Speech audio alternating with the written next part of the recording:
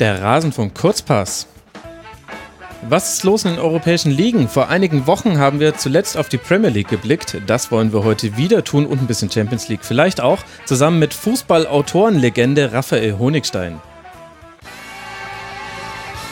Raphael, schön, dass du mal mit dabei bist im Rasenfunk. Geht's noch eine Nummer kleiner eigentlich? Also, das, das, ist mir schon wieder ein bisschen unrecht, ehrlich gesagt. Aber Na, trotzdem sehr nett. Ehre, wem Ehre gebührt. Und wenn ich all die Dinge, die du so machst, in dieses Intro gepackt hätte, dann hätte es ja auch nicht geklappt. Denn du bist in Podcasts zu hören, du trittst in Fernsehsendungen auf, du hast Bücher geschrieben, unter anderem eins zu Jürgen Klopp, das ist jetzt das aktuellste. Deswegen dachte ich, Fußballautorenlegende fasst das doch ganz gut zusammen.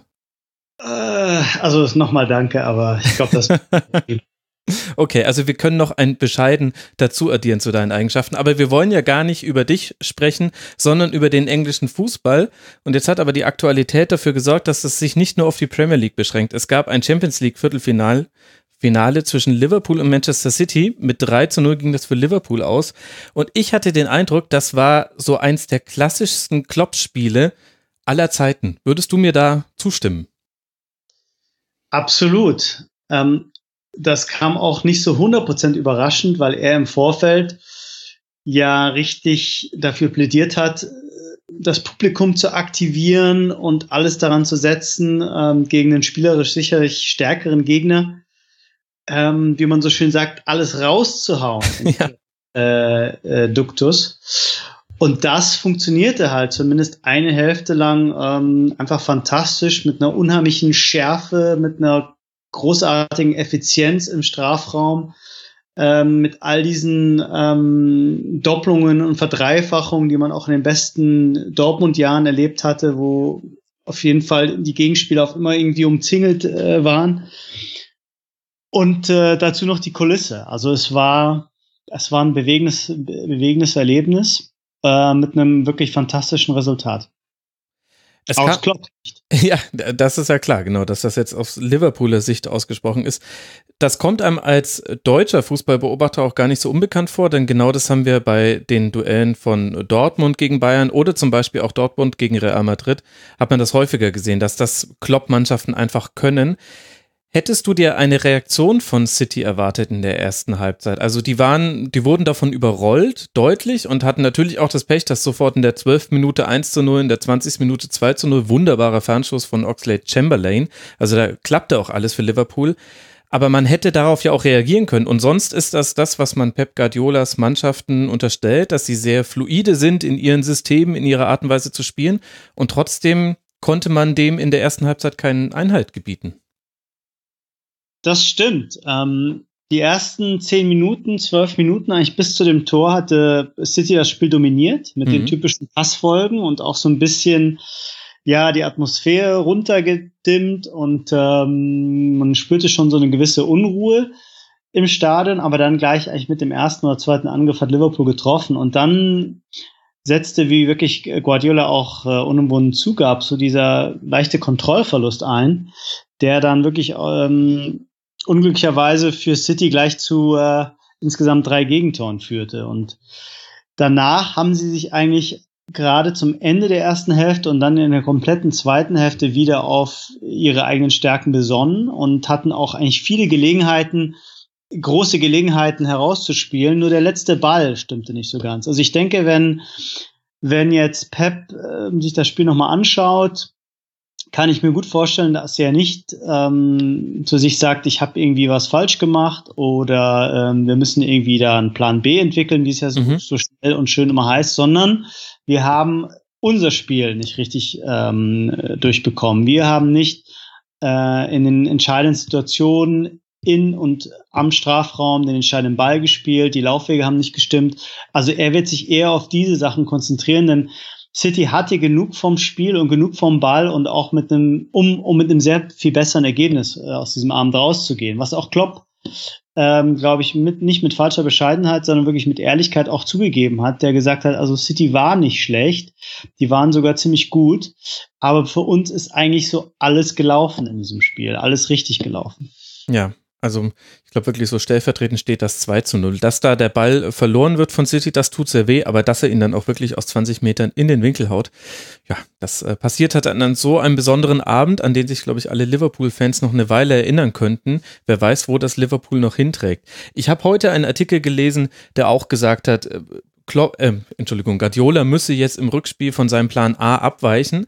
Da würde ich aber gegenhalten, genau dieser Plan A hat ja im September auch zu einem 5 zu 0 Heimsieg von City gegen Liverpool geführt. Bei dir glaube ich jetzt auch schon so rauszuhören, dass du sagst, naja, sie müssen einfach ihr Spiel besser umsetzen. Wie ist denn die ba Debatte da gerade im britischen Journalismus?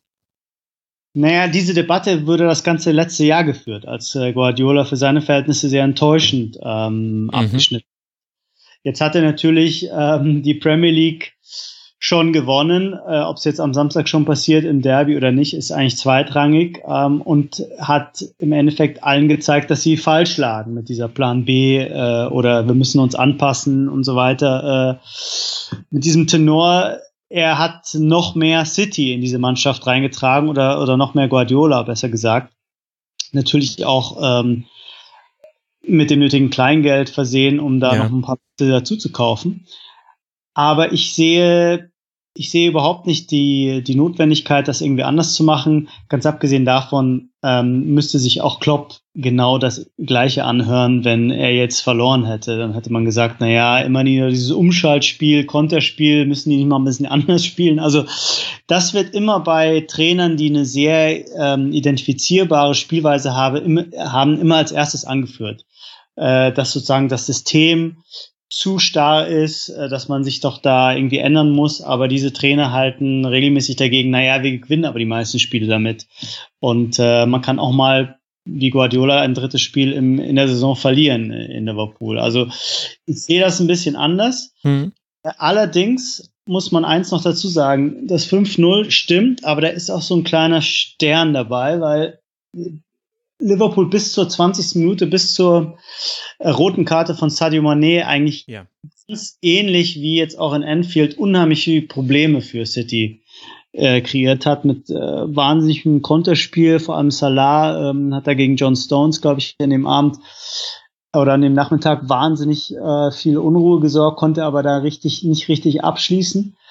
Also man war lange eben mindestens ebenbürtig gewesen und daraus äh, schöpft, schöpft auch Liverpool und Klopp die Hoffnung, dass es, ähm, obwohl dieses Ergebnis erstmal ja als Warnung steht, mit elf Mann doch ziemlich knapp und äh, auch im Sinne von Liverpool ausgehen kann. Mhm. Also ich glaube vor allem das nicht kassierte Auswärtsgegentor von 100%. Äh, City, das wird wahnsinnig helfen, denn Liverpool eine Umschaltmannschaft, das ist ja fast schon eine Binsenweisheit und da wird es Gelegenheiten geben.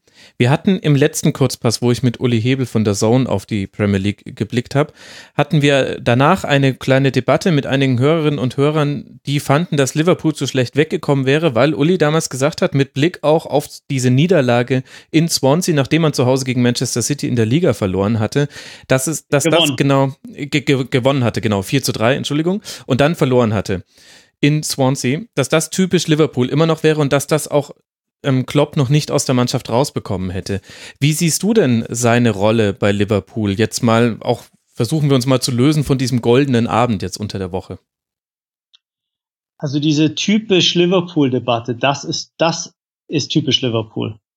Also, okay. Also diese Idee, dass ein verlorenes Spiel in, ich glaube, fünf Monaten jetzt sozusagen zeigt, dass alles wieder äh, eigentlich gar nicht so gut ist. Mhm. Ähm, man kann der Mannschaft einiges vorwerfen und sie steckt sicher noch in der Entwicklung und äh, muss sich auch im Ballbesitzspiel, was besser geworden ist, immer noch weiter verbessern. Aber dass äh, gerade viele so Swansea-Spiele dieses Jahr dabei gewesen wären, das kann man eben nicht sagen. Also Swansea sticht deswegen heraus, weil es die Ausnahme war, äh, zusammen mit dem West Brom-Pokal äh, aus, was sehr peinlich war natürlich. Mhm. Ansonsten hat Liverpool diese kleineren Spiele, mit denen man ganz große Probleme noch hatte in der letzten Saison, alle mehr oder weniger souverän gewonnen und hat eher in den äh, Spitzenduellen Probleme gehabt. Also äh, ich sehe das ein bisschen anders. Ich sehe, dass die Mannschaft Fortschritte macht und ja, äh, unheimlich aus dem herausholt, was sie eigentlich hat. Und das ist gar nicht so wahnsinnig viel. Wenn man sich zum Beispiel das Mittelfeld mal anschaut, das sind alles ganz brave, ähm, aufopferungsvoll kämpfende äh, Leute. Aber ähm, so richtige Spielkultur ist da seit dem Weggang von äh, Philipp Coutinho eigentlich nicht vorhanden. Und die Abwehr ist jetzt vielleicht nicht so schlecht wie ihr Ruf, aber auch nicht so wahnsinnig äh, prominent besetzt, dass man irgendwie vorstellen könnte, dass sie die Champions League gewinnt. Aber das kann passieren, weil sie eben im Kollektiv so wahnsinnig viel erreichen. Und da sind wir natürlich wieder sofort bei Dortmund. Mhm. Man ähm, auch erst hinterher eigentlich gesehen hat, dass diese Spieler vielleicht einzeln gar nicht so gut waren, äh, weil sie anderswo viel weniger funktioniert haben. Ja, sehr interessanter Punkt. Wenn man sich das Restprogramm von Liverpool anguckt, dann sieht das jetzt noch mit der kleinen Klammer, dass wir nicht wissen, wie weit es in der Champions League noch gehen könnte, sieht das alles ganz machbar aus. In der Liga liegt man zwei Punkte hinter Tabellenplatz zwei mit Manchester und dass äh, City weg ist, also hinter United liegt man natürlich, das ist ja schon völlig klar. Es gibt im Grunde drei Mannschaften, die sich um diesen zweiten Tabellenplatz ein äh, Triell liefern. Okay, da habe ich mich jetzt äh, vermoderiert. United, Liverpool und die Spurs. Würdest du der These zustimmen, dass es vor allem Liverpool und den Spurs auch richtig etwas bedeuten würde, auf diesem zweiten Platz zu landen? Und bei United ist es dann eher so zähneknirschend, dass ausgerechnet auch noch der Stadtrivale die Liga so dominiert. Ja, also für Liverpool würde es natürlich einfach hm, dieses, dieses Momentum ein bisschen weiter befeuern und diese Idee, dass man einfach näher kommt. Mhm. Man ist, glaube ich, seit den Benitez-Tagen nicht mehr Zweiter geworden. Doch, Entschuldige, vielleicht unter Rogers in dem einen Jahr, genau. Das war natürlich ein großer Ausreißer nach oben. Und ansonsten war man sehr froh, wenn man Vierter wurde in den letzten Jahren. Und wenn man die Saison stark beenden könnte und natürlich vielleicht auch in der Champions League noch ein bisschen was macht, dann wächst einfach mit jedem Erfolg, mit jedem kleinen Schritt nach vorne, wächst einfach der Glaube an dieses Projekt. Ja. Und das zwischendurch auch mal ein bisschen gewackelt, so nicht im Verein, auch nicht in der Mannschaft, aber so in der Außenwahrnehmung, weil man das Gefühl hatte, das ging eigentlich nicht schnell genug und äh, warum ist er nach zwei Jahren immer noch irgendwie nur Vierter oder Fünfter? Also das würde schon ein bisschen was, was bringen. Und bei den Spurs, naja, sie wurden jetzt schon paar Mal relativ knapp hinter den, äh, hinter den Meistern, Zweiter bzw. Dritter und das hat eigentlich gar nicht so viel jetzt bewirkt. Wichtig ist natürlich für die, dass sie wieder in die Champions League kommen im neuen Stadion und äh, diesen wirklich unheimlichen Aufschwung unter Pochettino weiter unterstreichen. Ja.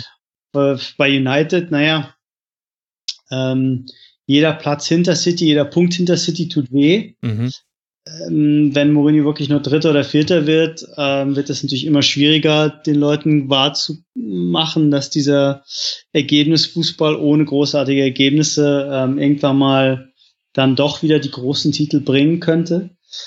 Also sie haben im Endeffekt da ein bisschen mehr zu verlieren vielleicht als die anderen. Dafür können sie aber noch die, den FA-Pokal gewinnen. Mhm. Und das wäre dann vielleicht auch ein halbwegs versöhnliches Ende für, für Man United. Aber ich glaube, dass das zeigen auch so die letzten Jahre, dass sich hinterher nicht wirklich die Leute unbedingt genau erinnern, wo, wo ob man jetzt Zweiter, Dritter oder Vierter wurde. Ähm, gerade weil ja auch das Qualifikationsspiel wegfällt für den Vierten im nächsten Jahr, ja. ist auch nicht mehr so von der ganz großen Bedeutung.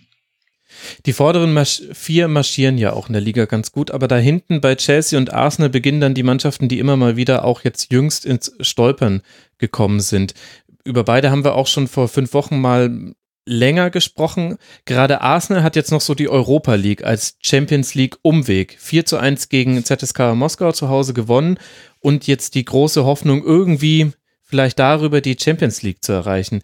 Hat sich denn an der Situation bei Arsenal, an der Wahrnehmung von Arsenal etwas verändert durch die Transfers, die stattgefunden haben im Winter? Hm, das kann man gar nicht so leicht beantworten. Also natürlich kam mit Aubameyang und Mkhitaryan so ein bisschen das Gefühl auf, Arsenal will es jetzt nochmal wissen und greift nochmal an und äh, trennt sich vielleicht auch ein bisschen von der vorsichtigen Transferpolitik der letzten ja. Jahre. Mhm. Der große Schwung, die große Verbesserung hat sich aber nicht eingestellt. Ähm, jetzt heute die neuesten Nachrichten sagen, dass Mkhitaryan wahrscheinlich ähm, schwerer verletzt ist und vielleicht auch nicht mehr spielen wird die Saison. Aubameyang macht das gut, aber die Probleme sind ja bei Arsenal nicht im Sturm oder nicht unbedingt, ähm, wenn es darum geht, Tore zu schießen und schön zu spielen, sondern die Probleme sind ja schon seit Jahren, seit Jahrzehnten, muss man fast sagen, äh, die richtige Balance und auch der Matchplan ohne Ball. Und äh, da fürchte ich, wird sich so schnell nichts ändern. Erst wenn der neue Trainer kommt. Ähm, und weißt du, wie der Trainer heißen wird? Ich weiß nicht, wie der Trainer wird. Ich glaube, dass es auch bei, bei Arsenal im Verein niemand weiß, weil man sich derzeit, äh, das ist der Stand der Dinge, soweit ich weiß, auch gar nicht intensiv mit einem neuen Trainer befassen kann, weil der jetzige keine Anstalten macht zu gehen. Mhm. Ich glaube, im Verein niemand wirklich bereit ist, den ein Jahr vor, vor Ablauf seiner, seiner Karriere vor die Tür zu setzen. Also das ist immer noch Wengers Entscheidung. Mhm. Mit jedem Sieg in der Europa League kann er die Sache länger herauszögern. Und er spielt natürlich auch auf Zeit, denn äh, Ende Mai wird der so oder so nicht so wahnsinnig stark besetzte Trainermarkt, was ja die Bayern unter anderem merken, äh, noch ja. leer sein. Ja. Also ich gehe eher davon aus, dass er noch mal ein Jahr weitermacht, mhm. was die Arsenal-Fans erstmal keine gute Nachricht ist, aber vielleicht es ihm irgendwie halt ermöglicht, noch versöhnlich aus dieser Geschichte rauszukommen. Und äh, ein Europa, Europa League-Sieg ist, ist möglich, wird aber schwer, solange Atletico Madrid drin bleibt, wovon man ja ausgehen muss. Ja. Was glaubst du denn, woher kommt denn das, dass sich die Wahrnehmung von Arsene Wenger so geändert hat? Also eigentlich ist das ja etwas sehr Schönes, was man da sieht, dass da mal jemand nachhaltig arbeiten kann, über Jahrzehnte sogar. Und er hat ja auch den größtmöglichen Erfolg gehabt mit äh, dem, der Saison der Unbesiegbaren.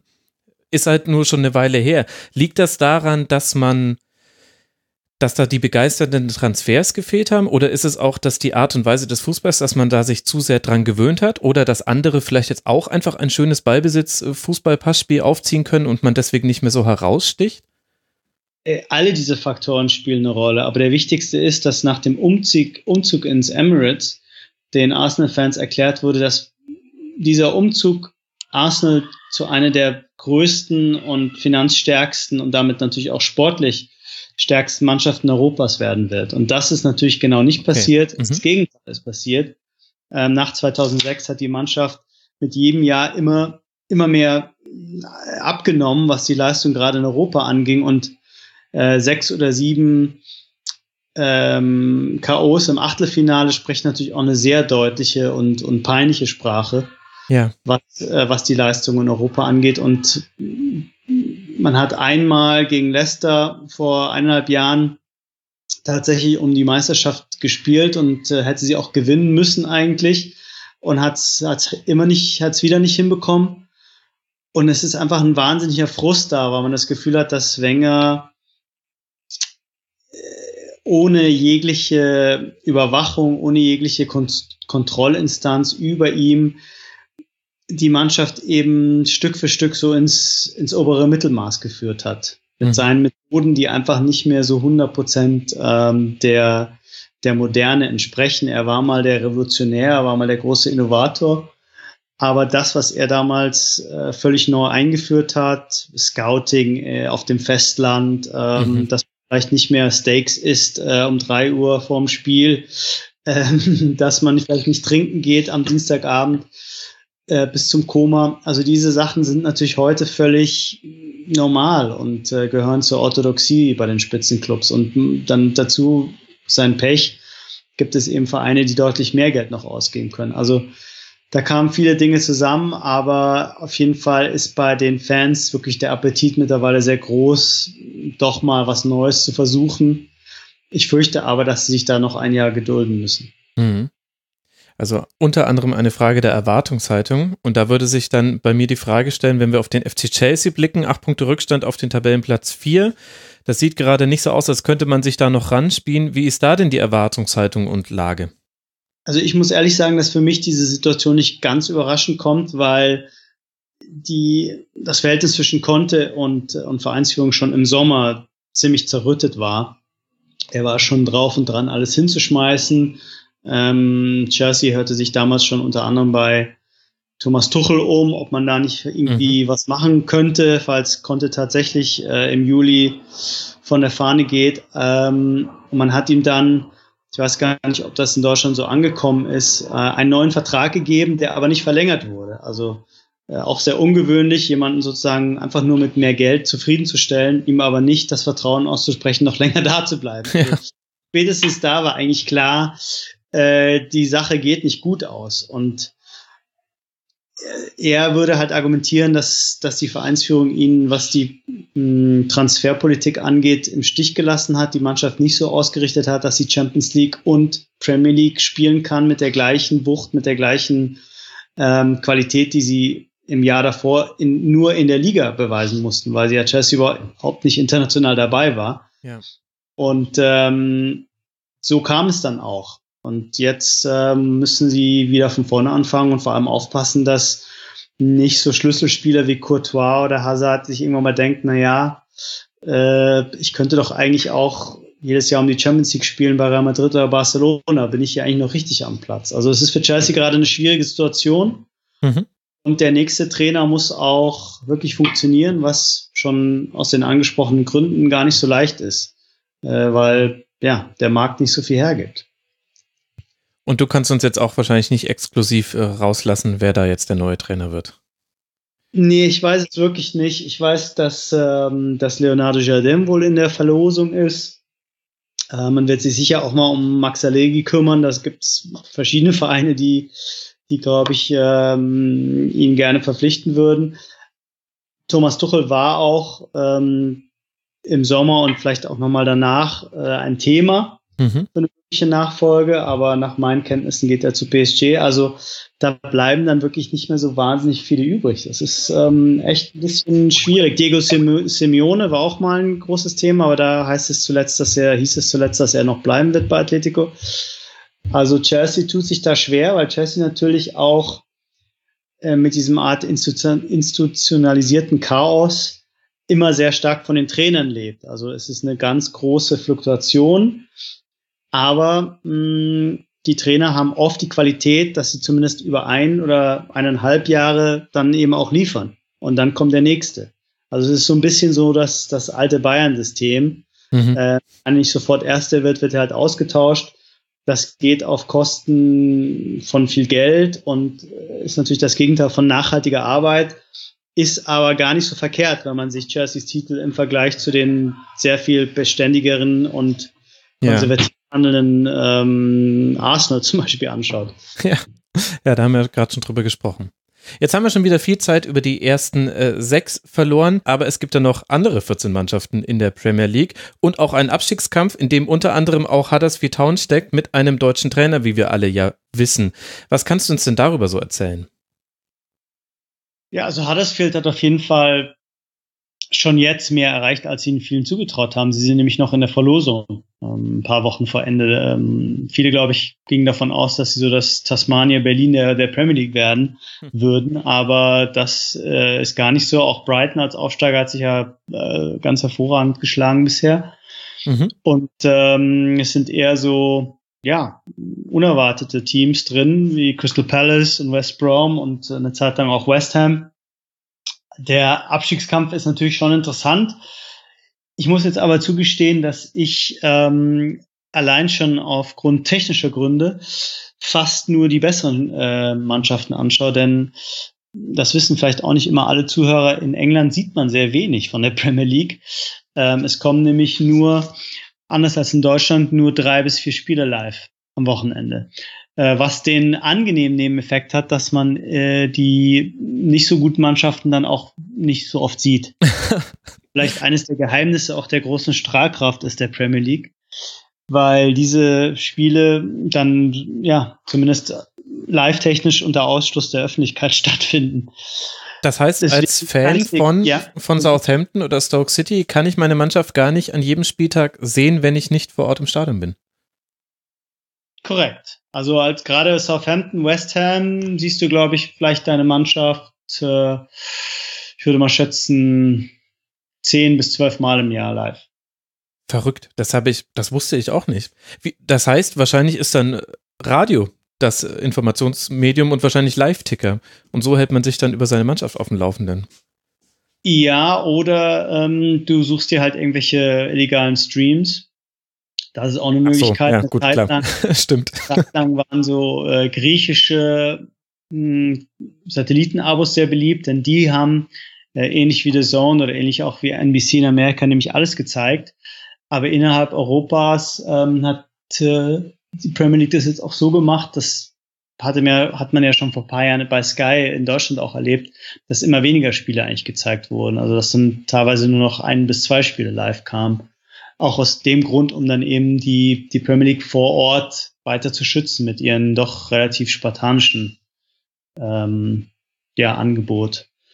Aber deswegen muss ich sagen, dass ich diese Mittelklasse-Mannschaften gar nicht so oft zu Gesicht bekomme. Ich finde Newcastle immer ganz schön, mhm. gerade wenn die zu Hause spielen, weil es halt so eine, ja, so eine traditionelle Wucht noch entfach, erfach, äh, entfacht und ähm, immer so ein bisschen Stimmung und äh, ja, diese Mischung, Mischung aus Größenwahn äh, und und Humor und Selbstironie da mitschwingt äh, bei den Geordies. Ansonsten hast du natürlich einfach mit sechs Mannschaften weitaus mehr gute Mannschaften als irgendwo sonst. Also das ist tatsächlich ja. in diesem Jahr, nicht nur in diesem Jahr, aber in diesem Jahr vielleicht besonders einfach ausgeprägt, dass es eben dann jede Woche auch eine Art von Spitzenspiel gibt, das sich wirklich lohnt zu schauen. Äh, wenn ich dann überlege, jetzt am Montag ähm, gibt Leipzig gegen Leverkusen, Leverkusen. Mhm. Vierter gegen Fünfter. Das wird bestimmt gar nicht schlecht, das Spiel. Aber es hat natürlich nicht diesen Glanz und nicht dieses, ja, diese, diesen Glamour, diesen, dieses absolute Muss, ich muss das anschauen, ähm, Gefühl, dass die dementsprechende Partie jetzt in der Premier League hätte, wenn mhm. zu überlegen, Vierter, das ist äh, die Spurs gegen Chelsea wäre das. das Spurs gegen Chelsea, genau. Also mhm. das hat noch ein bisschen was anderes. Aber wie macht man denn das dann eigentlich vor Ort, dass man sich über andere Mannschaften kundig macht? Ist man dann auf äh, Spielberichte, Zusammenfassungen angewiesen? Ich, ich, du erlebst mich gerade wirklich leicht schockiert. Ich meine, ich verdiene ja inzwischen einen Teil meines Geldes damit, alles an Bundesliga live zu sehen, was ich in ein Wochenende packen kann. Und da würde ich mir zwar manchmal wünschen, dass so manches nicht übertragen worden wäre und ich deswegen das gar nicht hätte sehen können, aber es hat mir schon jetzt im Laufe der Zeit ein finde ich, ein, ein, ein Wissen gegeben über viele Mannschaften, über die ich vorher eher ein Halbwissen hatte. Also ich kann jetzt auch sehr fundierte Sachen, hoffe ich zumindest, über Augsburg, Hannover und so weiter sagen, die vorher nicht in meinem Fokus waren. Ja, also das ist wirklich was nur für absolute Hardcore-Fans, die sich dann ab acht oder ab neun auf Sky äh, komplette Spiele nochmal anschauen können, die sozusagen im Real Life ausgestrahlt ah, okay. werden. Mhm. Äh, oder zumindest in längeren Zusammenfassungen. Mhm. Oder dann ähm, das Äquivalent der Sportschau bzw. des Sportstudios um äh, halb elf meistens bei Match of the Day. Längere Zusammenfassung. Aber selbst da hat man als Huddersfield oder Crystal Palace Fan oft schlechte Karten, denn da wird streng nach ähm, Attraktivität des Spiels mhm. Ähm, okay. Was gar nicht unbedingt jetzt auch an den Namen aufgezogen wird, denn wenn Man United gegen Southampton 0-0 spielt, dann kann es auch mal sein, dass sie dann tatsächlich ganz am Ende laufen und nur fünf Minuten gezeigt werden, äh, weil es irgendwo anders ein 3-3 gegeben hat. Also das äh, ist, schützt sozusagen nicht davor, äh, ähm, da ein bisschen vernachlässigt zu werden, aber es ist nicht so, es ist nicht so leicht. Und wie gesagt, ich glaube, dass das vielleicht auch ein bisschen Kalkül ist und Teil des Appeals zu mhm. sagen, wir machen das Produkt eigentlich rar und wir zeigen eben nicht diese ganzen, diese ganze Ausschussware, sondern eigentlich nur die Premium-Spiele. Und das aber hat, das, das hat eigentlich schon was. Ja, das, ich glaube, aus Konsumentensicht kann ich das sehr gut nachvollziehen, aber das ist ja dann wahnsinnig schwierig. Wir haben jetzt zum Beispiel gerade eine Saison, wo alle drei Aufsteiger aktuell Stand 31. Spieltag, 32. Spieltag, je nachdem, welchen man da heranziehen will, nicht auf einem Abstiegsplatz stehen. Und dann ist es für die doch wahnsinnig schwierig, daraus einen positiven Bass zu erzeugen, der sich bei ihnen dann auch monetär widerschlägt. Also man will ja Tickets verkaufen, Merchandise-Artikel und so weiter. Das ist ja schon neben dem ganzen TV-Geld auch noch eine Einnahmequelle in der Premier League. Und das ist ja dann kaum zu schaffen, wenn man dann trotzdem nur gezeigt wird, wenn man mal entweder ein Highlight-Spiel hatte, wo man 4-4 gespielt hat, oder halt gegen einen der großen Sechs antritt, gegen die man ja aber meistens verliert. Ja, das ist einer der Faktoren, warum die Merchandising- und Sponsorenrechte einfach nicht so, ähm, nicht so relevant sind hm. im Vergleich zu dem, was in der Bundesliga umgesetzt wird. Aber das, die Bundesliga zahlt natürlich ähm, da den Preis wiederum dafür, weil die, dass die Fernsehrechte, gut, jetzt in den, in den letzten Jahren hat man sehr viel äh, Zuwachs ähm, verzeichnen können, aber jahrelang war natürlich der Wert der Fernsehrechte dadurch gedeckelt, dass ganz viel Free, äh, Free-to-Air Bundesliga lief, zu äh, fast zu fast schon zu Kickoff-Zeiten, also kurz nach nach Ende der nach Ende der Spiele. Das kam dann über die Sponsorengelder wieder rein. In der in der Premier League ist das System einfach mal Fernsehrechte ist Nummer eins Mhm. Und da das relativ ähm, gleichmäßig verteilt wird, ist es dann auch nicht so wichtig, ob ich jetzt dann laufe oder nicht. Also das wird nach einem Schlüssel aufgeteilt, der relativ gleichmäßig ist. Das heißt, der, der, der erste kriegt nicht wahnsinnig viel mehr als der letzte, obwohl er natürlich öfters läuft und äh, dann natürlich über Sponsoring, Merchandising und so weiter vielleicht auch mehr generieren kann. Aber diese Neben Einkünfte, sag ich mal, fallen gar nicht so ins Gewicht, weil einfach diese Fernsehrechte alles, alles überstrahlen und mhm. das einfach das Wichtigste ist. Deswegen ist es den Vereinen so, wie es jetzt gerade ist, ähm, ganz recht. Und das Wahnsinnige ist, dass die Premier League ja noch wahnsinnige Ressourcen hat. Also wenn man jetzt morgen sagen würde, alle Spiele sind nicht mehr zwischen drei und fünf, denn da darf äh, seit den 60er Jahren äh, nach äh, dem Erlass eines Gesetzes überhaupt kein Live-Fußball laufen in Großbritannien. Mhm. Also sagen wir mal, wir verlegen alle Spiele auf Samstagabend oder Sonntagnachmittag, zeigen dafür alle Spiele live, äh, 10 mal 38. Dann könnte man ja theoretisch nochmal vielleicht das Doppelte umsetzen von dem, was jetzt umgesetzt wird, mit ähm, gut, äh, ja, gut die Hälfte von allen Spielen. Also das ist eigentlich erschreckend, wenn man das vergleicht mit der Bundesliga, wo schon seit 2000 ja alle Spiele einfach verramscht ist vielleicht ein bisschen übertrieben, aber einfach mal verschleudert werden. Ja. Weil man da das Gefühl hatte damals, dass so ein bisschen gegen die Marktgesetze spricht, ähm, mehr Angebot äh, verschärft dann vielleicht auch die Nachfrage. Aber das ist eigentlich nicht so, hat sich nicht so als die richtige Strategie äh, erwiesen. Ja, und dann geht es jetzt auf Montagsspiele, wo heute beschlossen wurde, die DFL hält daran fest, also dann die Vereine halten daran fest, die Montagsspiele sollen bleiben. Da müssen sich die Bundesliga-Fans dran gewöhnen. Letzte Frage, weil ich weiß, dass du auch vielen anderen europäischen Fußball im Blick hast. Wird in der Premier League deiner Meinung nach der beste Fußball gespielt? Ähm, der, also die Frage mit dem besten Fußball ist immer ist immer schwer, man, wie man das wirklich definiert. So, wenn man den, alleine die Erfolge heranzieht in den letzten Jahren, muss man natürlich sagen, dass äh, in Spanien der beste Fußball gespielt wird, zumindest ja. der erfolgreichste. Aber was guckst du dir am liebsten an? Wenn du jetzt die Wahl hast, Spitzenspiel, Bundesliga, Primera Division oder La Liga, Serie A, Liga oder Premier League? Ich glaube grundsätzlich, dass Leute eigentlich äh, gar keine Ligen schauen, sondern Mannschaften. Mhm. Ähm, ich glaube nicht, dass irgendjemand sagt von sich, ich bin Fan der Premier League. Ja. Klar, als interessierter Zuschauer schaut man das gerne, aber wirklich intensiv, so wie man halt als, als echter Fan seine Mannschaft verfolgt, da geht es darum, wer, wer sind diese Mannschaften? Und wenn ich jetzt vor der Wahl stehe, Huddersfield gegen Brighton anzuschauen, weil sie in der Premier League spielen, oder Barcelona gegen Real Madrid, oder selbst äh, lass es Milan gegen Inter sein, dann ist irgendwie klar, wie, die, wie diese Wahl ausfällt. Also ja. es geht weniger darum, wo diese Mannschaften spielen, als äh, was für eine Art für Fußball und Qualität sie stehen. Und da schaue ich mir so ge hm, genauso gerne zum Beispiel die Dortmunder Mannschaft von Thomas Tuchel oder die Bayern-Mannschaft von Pep und mit Abstrichen von Jupp an, wie die Spurs und äh, wie Barcelona. Also das ist für mich eher eine Frage der, der Mannschaften und der Qualität als, als der Ligen. Und ich glaube, dass viele Konsumenten, schlimmes Wort jetzt in dem Zusammenhang, aber äh, wenn man es jetzt mal global betrachtet, ähnlich denken. Und das ist natürlich das, das ist das eigentliche Problem der Bundesliga. Das Problem der Bundesliga ist nicht, dass die Liga nicht ausgeglichen ist. Ja.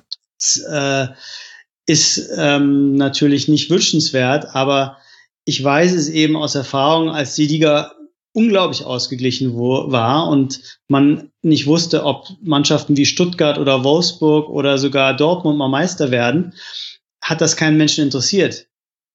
Das Interesse kam erst, als Bayern und Dortmund auf einmal zu europäischen Spitzenteams wurden und man das Gefühl hatte, dass das steht für echte Qualität und die können jeden auf der Welt besiegen. Dann auf einmal gab es Interesse daran.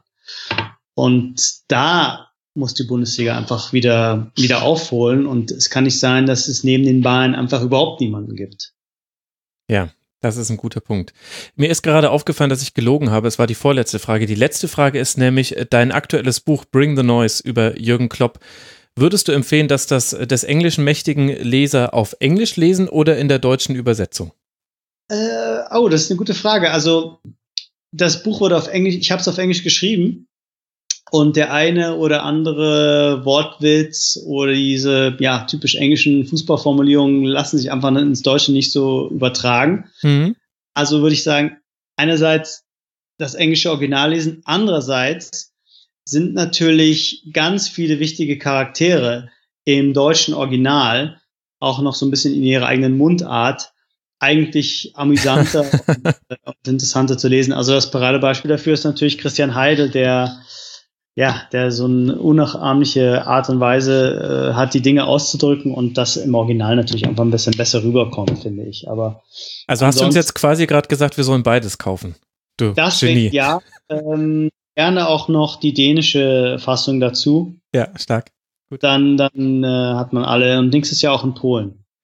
Okay. Also werden wir natürlich tun. Ich kann nur sagen, ich habe das Reboot, dein Buch über die deutsche Nationalmannschaft damals im englischen Original gelesen und fand es für einen, der auch englische Serien guckte, sehr, sehr, sehr gut verständlich. Also brauchen da die Hörerinnen und Hörer keine Angst vor der Sprachbarriere haben. Das war das Raphael Honigstein. Ich will noch einen kurzen ja. Plug glaubst, wie man so schön sagt. Na klar. Das nächste Buch ähm, ist auch schon fertig. Ach. Und zwar ist das ähm, die Autobiografie von Per Mertesacker. Ach ja, klar, super. Die mit dem schönen Titel erscheint, Weltmeister ohne Talent. Sehr schön. Das hätte auch. Ah, nee, ich will jetzt niemandem zu nahe treten. Nein, da möchte ich jetzt keinen Witz drüber machen. Wir lassen es einfach so stehen. Sehr gut zu wissen, es kommt noch eine Per Mertesacker-Biografie. Ich habe den Eindruck, Raphael, wir müssen noch mal miteinander im Rasenfunk sprechen. Da kannst du dann auch noch mal über Per Mertesacker mir ein paar Geschichten erzählen. Sehr, sehr gern. Vielen, vielen Dank dir. Das war Raphael Honigstein, at Honigstein auf Twitter. Und das war Kurzpass Nummer 51, liebe Hörerinnen und Hörer. Danke für eure Aufmerksamkeit. Man kann den Rasenfunk unterstützen unter rasenfunk.de slash unterstützen und dabei helfen, dass es mehr solcher Folgen gibt. Und wenn ihr irgendwann genügend spendet, dann kann ich auch so tollen Autoren wie dem Raphael ein Honorar zahlen. Das ist das Ziel für die Zukunft. Schaffen wir nur mit euch zusammen, liebe Hörerinnen und Hörer. In diesem Sinne, eine gute Zeit euch und bis zum nächsten Mal im Rasenfunk. Macht's gut. Ciao.